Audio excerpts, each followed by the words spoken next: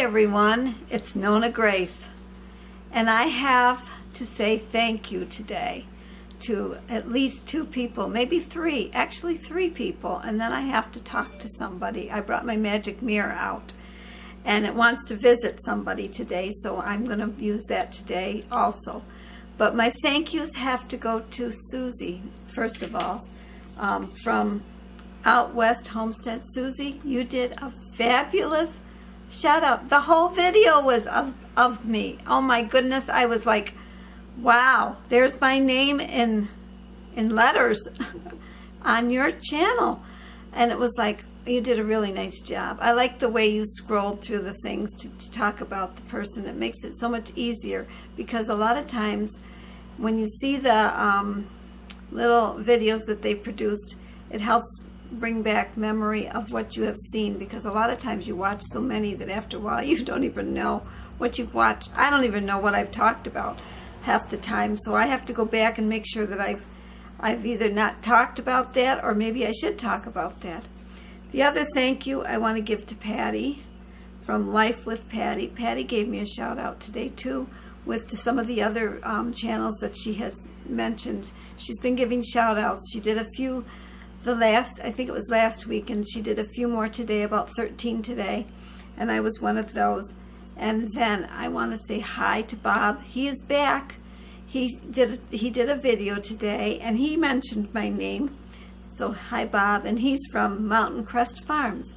Now the magic mirror wants to visit somebody today, and so I think the magic mirror is going to tell me who it wants to see once it gets into that, once I get it into, I have to look at my notes sometimes because I am really bad. I don't want to mess it up. Um, but the magic mirror wants to visit somebody. So let's see who the magic mirror sees today.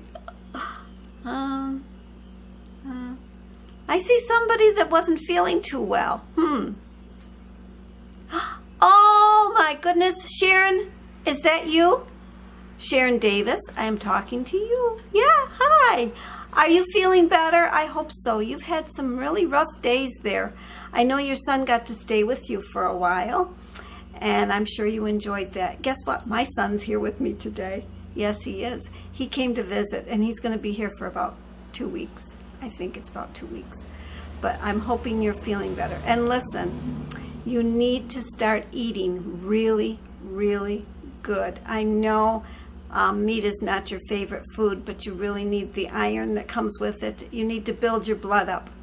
Remember the old advertisement of Geritol? Iron poor blood? Well, it, the food is actually a better way to go than to try to, to take Geritol. I don't know what Geritol tasted like. I don't I don't know. All I remember is the advertisement of Geritol for iron poor blood. Well, Sharon, you need to eat some really good eat eat eat some hamburger maybe. That would be a start. There's not much to chew there, and it goes down pretty easy.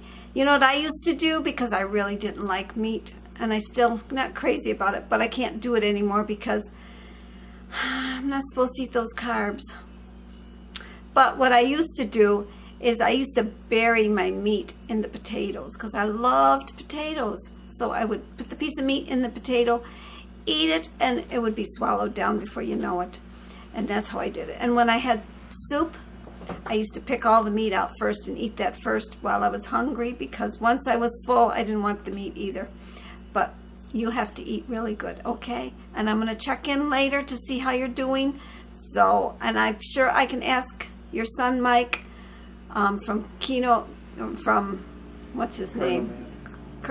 Carno. Carno, man. Oh, man, have I forgotten. I forgot your son's channel name, Carnomad.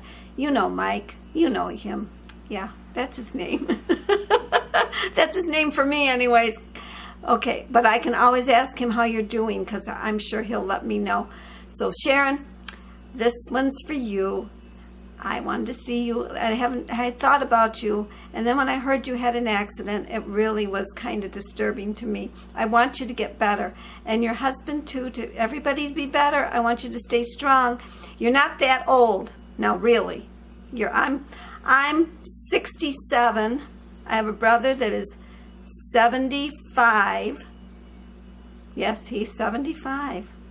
Wow, he's he's he's a lot older than me, but he's 75 years old. But he's he does really well. He, he's not on any medicines. He doesn't take anything. So eat better, and maybe you can get rid of some of those meds that you're on because it's it's heck to swallow pills. And if you're not hungry, you know what my father did when I was when I had my appendix out. I had lost my appetite after my appendix were taken out. So you know what he had me do? He had me take B one and B2 vitamins to perk my appetite. Um, so maybe maybe that would be the way to go. Have vitamins instead of medicine. That might be a better way to go. Well, Sharon, I've got to go now, so I will talk to you, I'm sure, at another time. Take care, and I'll see you. I'm going to wave. I got to wave with the with my right hand. I don't wave with my left hand very well. So, bye, Sharon. Bye-bye. Oh. I'm so glad I got to see Sharon in there because I didn't know who the mirror was going to show me. Sometimes it shows me other people, but today it showed me you. You're the lucky one. Well, Sharon and everyone else that is watching this, I will talk to you all again tomorrow. So, bye.